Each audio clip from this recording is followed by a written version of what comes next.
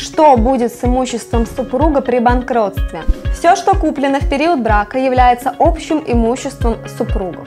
Финансовый управляющий обязан выявлять все имущество должника.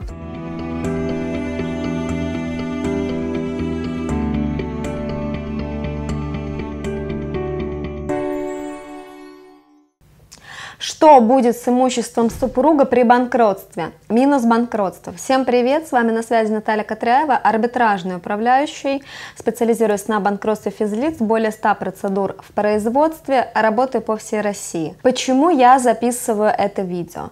Потому что в сентябре в четырех делах, где я провожу процедуру банкротства как финансовый управляющий, было выявлено имущество, которое зарегистрировано за супругом должника и куплено в период брака. Что будет с данным имуществом? Оно будет включено в конкурсную массу и будет продаваться на торгах. Почему? Вот сейчас как раз в этом видео мы и будем разбираться. Если вам нужна бесплатная консультация по банкротству физлица, а именно целесообразно ли в вашем случае инициировать процедуру банкротства, контакты в описании, ссылка на сайт в описании, оставляйте заявку, консультация бесплатная. Также, чем я могу быть полезна? Провожу процедуру банкротства по всей России, также обучаю юристов и для тех, у кого нет денег на юристов, есть курс по самостоятельному банкротству. А также попрошу каждого, кто смотрит это видео, поставить лайк, подписаться на мой канал. Это меня мотивирует еженедельно для вас выкладывать свежие видео. Все, что куплено в период брака, является общим имуществом супругов, вне зависимости, на кого это имущество зарегистрировано. У нас действует презумпция общей собственности. И если имущество должника зарегистрировано супруга и куплено оно в период брака, половина принадлежит должнику. Как можно сохранить имущество, которое зарегистрировано за супругом должника, которое куплено в период брака?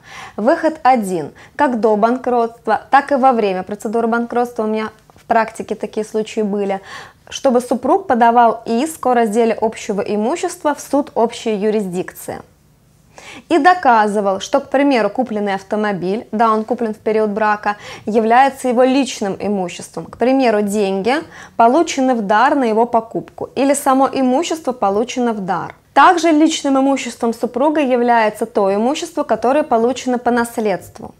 И если суд вынесет соответствующий судебный акт, что данное имущество является личным имуществом супруга, то в деле о банкротстве данное имущество, объект движимый, недвижимый, продаваться, реализовываться не будет.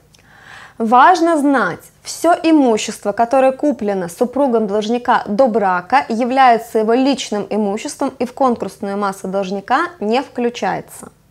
Частый вопрос, что будет с имуществом, которое оформлено на супруга должника и куплено в период брака, но которое находится в залоге у банка? Возможно ли его сохранить? Разъясняю, какой порядок действий будет. Финансовый управляющий также будет организовывать торги, продавать залоговое имущество, вырученные денежные средства погашать в счет требований залогового кредитора. То, что останется, половина уйдет супругу должника, половина будет включаться в конкурсную массу для погашения требований кредитора самого должника. Я это не придумываю, я лично веду подобные дела. Вот, к примеру, в октябре я не смогла завершить процедуру банкротства в связи с тем, что мною было выявлено общее имущество, которое зарегистрировано за супругом должника, и это имущество являлось залоговым – автомобиль. Оснований для исключения этого имущества из конкурсной массы не было.